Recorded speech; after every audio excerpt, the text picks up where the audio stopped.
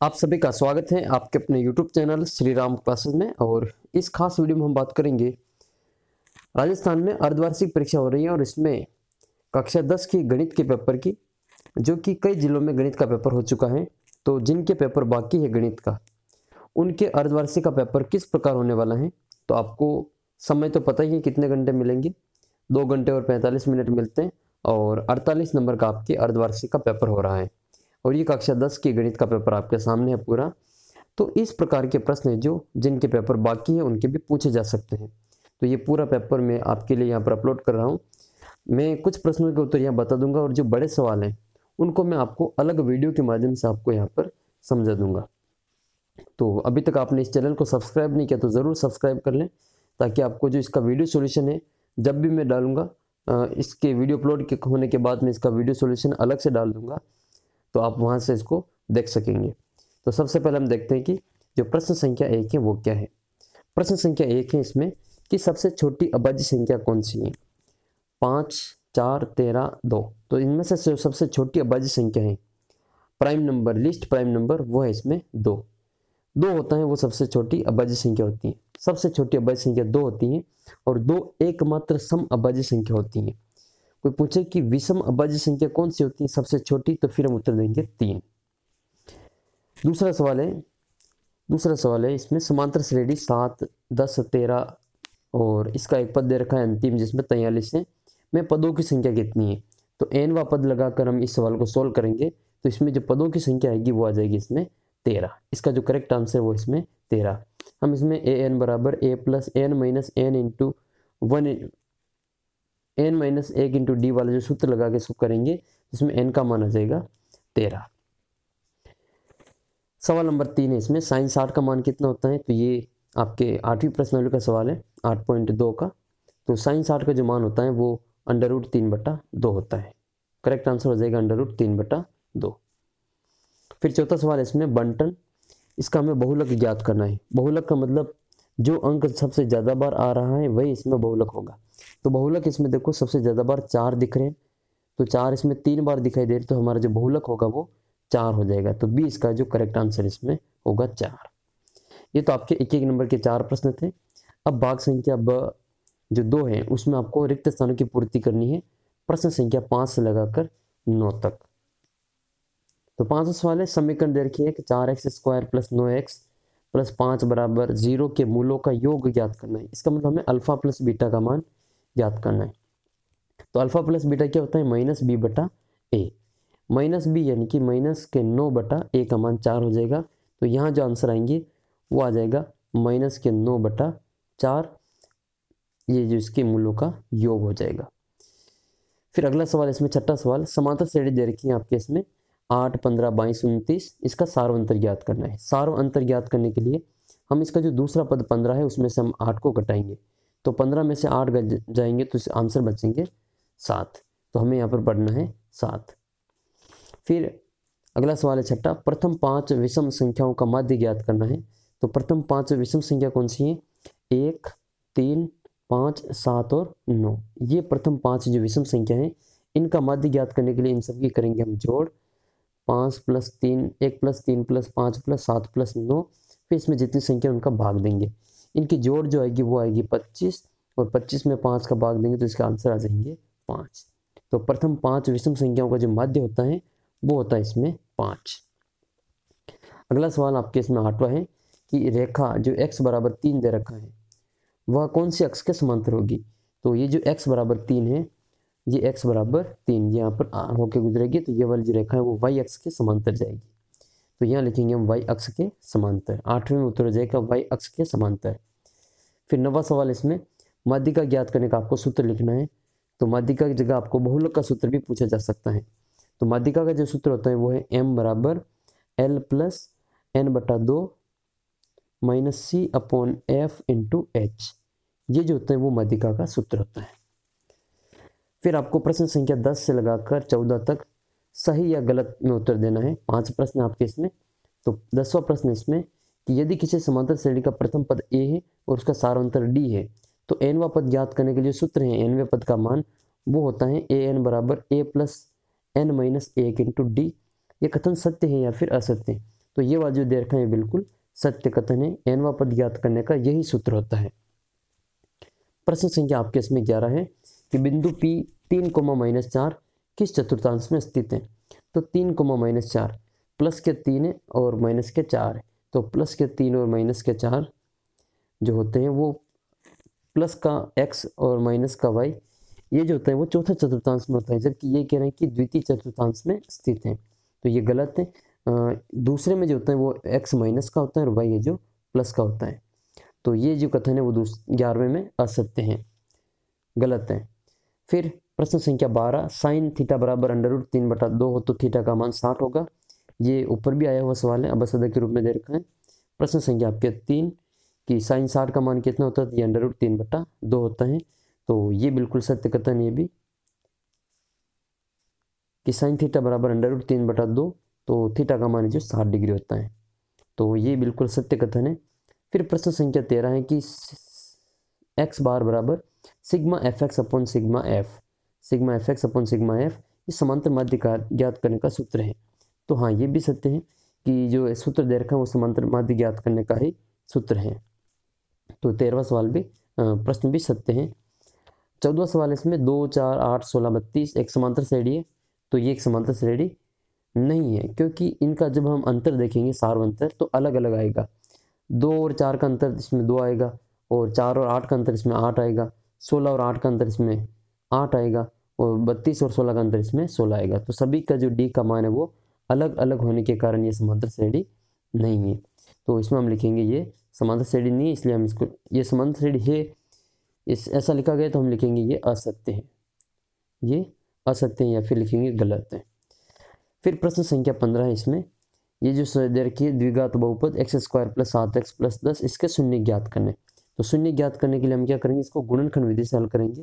तो x square plus जो सात एक्स प्लस दस बराबर ज़ीरो लिखेंगे और फिर टुकड़ा करेंगे दस के। दस के ऐसे टुकड़े करने, गुणनखंड करने, जिनको जोड़ने पर आ जाए सात। तो हमको पाँच और दो में तोड़ लेंगे, पाँच दूनी दस और पाँच और दो सात। तो ये हो जाएगा एक्स स्क्वायर प्लस दो एक्स प्लस पाँच एक्स प्लस दस बराबर ज़ीरो तो यहाँ से एक्स कॉमन आएगा तो यहाँ बचेगा एक्स प्लस दो और यहाँ से कॉमन आएगा प्लस के पाँच। तो यहाँ बचेंगे एक्स प्लस दो बराबर ज़ीरो। फिर एक बार हम इसको कॉमन ले लेंगे एक्स प्लस पाँच को, और एक बार एक्स प्लस दो को बराबर में लिखेंगे ज़ीरो। तो एक्स प्लस पाँच बराबर ज़ीरो और एक्स प्लस दो बराबर ज़ीरो। तो एक्स का मान आएगा माइनस पाँच और एक्स का मान आ जाएगा माइनस के दो। तो ये इसके दोनों शून्यक होंगे। जिसकी घात जितनी होती है, उसके उतने ही शून्यक हमें प्राप्त होते हैं। तो इसके उत्तर हो जाएँगे एक्स बराबर माइनस के पाँच एक्स बराबर माइनस के दो। फिर प्रश्न संख्या सोलह इसमें कि अड़तालीस और एक सौ पाँच का हमें महत्तम समापवर्तक ज्ञात करना है। तो अड़तालीस और हम एक सौ पाँच के सबसे पहले अबाजी गुणनखंड करेंगे, अड़तालीस के भी, और एक सौ पाँच के भी हम गुणनखंड करेंगे। तो जो इनमें जो मिलती हुई संख्या होगी उसको हम एक बार लिखते हैं। तो सबसे पहले इसमें भाग देंगे। दो का तो ये चौबीस बार जाएगा, फिर दो का भाग देंगे बारह बार, फिर दो का इसमें छः बार, फिर दो का देंगे इसमें तीन बार, और तीन का देंगे एक बार। फिर इसमें हम भाग देंगे तीन का तो तीन का भाग जाएगा इसमें पैंतीस बार, फिर पाँच का भाग देंगे सात बार और सात का भाग देंगे एक बार। तो इसमें केवल एक चीज़ दिखाई दे रही है, तीन। ये तीन दोनों में मिल रहे तो दोनों के जो एच सेप हो जाएँगे, वो इसमें तीन आ जाएँगे। तो सोलवे के उत्तर आएँगे इसमें तीन। पिता की आयु, पुत्र की आयु की तीन गुनी है। यदि पुत्र की वर्तमान आयु एक्स है तो पाँच वर्ष पश्चात। पिता की आयु ज्ञात कीजिए तो इसको हमें समीकरण के रूप में बदल कर यहाँ पर लिखना है। फिर अगला सवाल है इसमें अठारवा समांतर श्रेणी दे रखी है, एक माइनस दो माइनस पाँच माइनस आठ, इसके अगले दो पद निकालने। तो इनका जो अंतर है वो माइनस के तीन तीन का अंतर है। इनमें तीन तीन का अंतर है, सॉरी, माइनस का नहीं, प्लस का इसमें तीन तीन का अंतर है। तो इसमें इनका सार्वंतर निकालेंगे, दूसरे पद में से हम पहले पद को कटाएँगे तो डी का जो मान आएगा वो माइनस का तीन आएगा। फिर इसके अगले दो पद और ज्ञात करने के लिए माइनस आठ में हम माइनस इसमें तीन जोड़ेंगे तो ये प्लस माइनस माइनस और इसका अगला पद जो होगा वो माइनस के ग्यारह। फिर माइनस के ग्यारह में हम माइनस के तीन और जोड़ेंगे, इसका जो अगला पद आ जाएगा वो माइनस के चौदह आ जाएगा। तो ये दोनों पद हो जाएँगे माइनस के ग्यारह और माइनस के चौदह, इसका जो अगले दो पद हो जाएँगे। फिर सवाल नंबर है जो उन्नीस है साइन साठ और कोस तीस का इसमें मान ज्ञात करना है। तो साइन साठ का जो मान होता है वो अंडर रूट तीन बटा दो होता है। और कोस तीस का मान भी अंडर रूट तीन बटा दो होता है। दोनों के लघुत्तम लेके इसको हम हल करेंगे। तो इसके जो आंसर आ जाएँगे, वो दो अंडर रूट तीन बटा दो और इसके जो आंसर आ जाएँगे, वो आ जाएँगे केवल अंडर रूट तीन। नेक्स्ट सवाल है इसमें। अगला जो सवाल है, वो पाँच, भाग पाँच में है। इक्कीसवा सवाल। इसमें हमको दो संख्याओं के जो मान है, वो दे रखे हैं। दो संख्या दे रखी है, तीन सौ छः और सात सौ पिचहत्तर।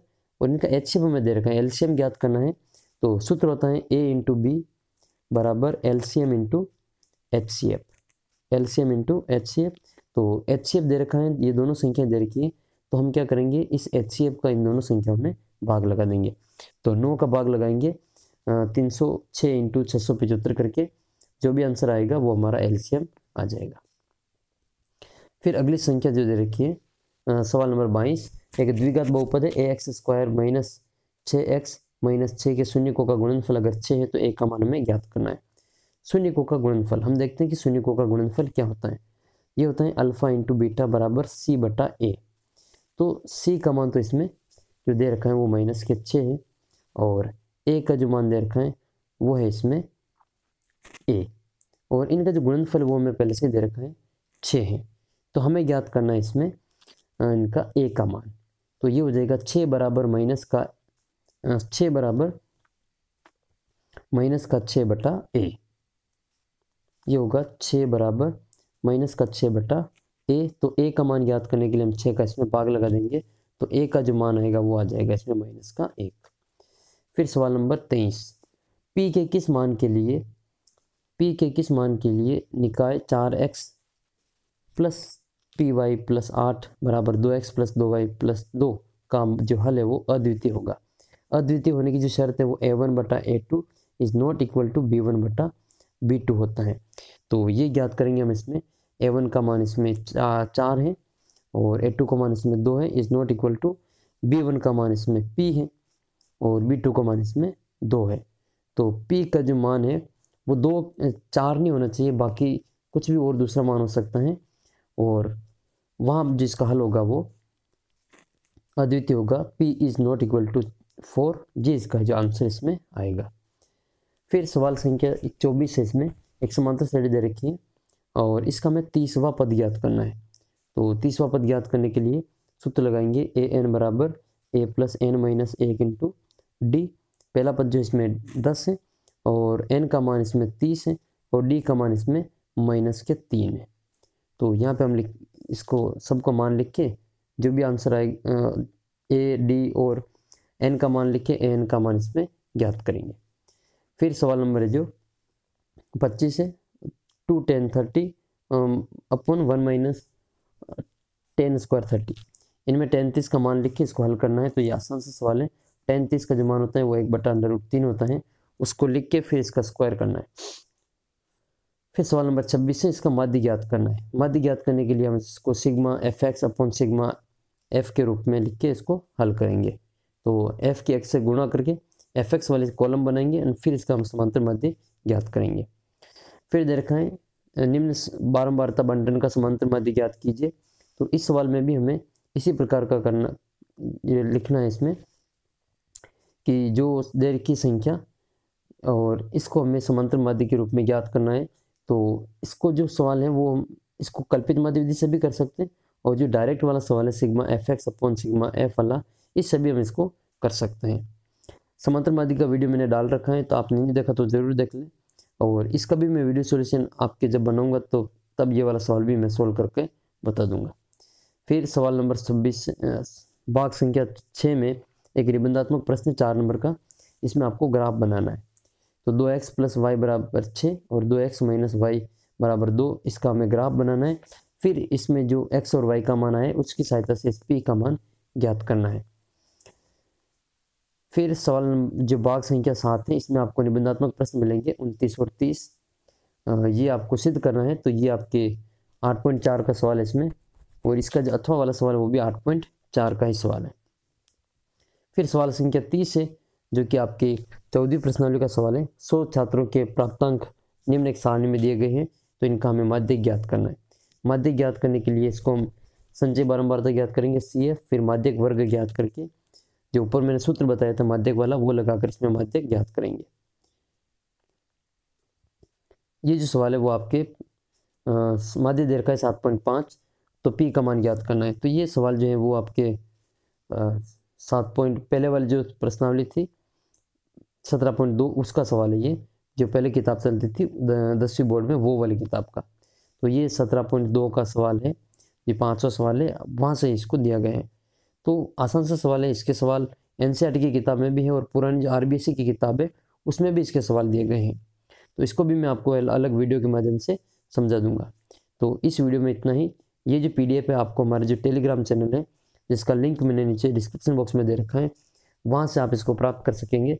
और आपके पास भी कोई पेपर है अर्धवार्षिक का तो मुझे टेलीग्राम पर भेज सकते हैं। नीचे लिंक मैंने डिस्क्रिप्शन बॉक्स में डाल रखा है। चैनल को अभी तक आपने सब्सक्राइब नहीं किया तो ज़रूर सब्सक्राइब करें ताकि इसी प्रकार के जो गणित के पेपर हैं और बाकी अन्य सब्जेक्ट के जो भी पेपर हैं वो सबसे पहले आपको यहाँ पर मिल सकें। तो जल्दी मिलते हैं अगले वीडियो में, तब तक जय हिंद, जय भारत।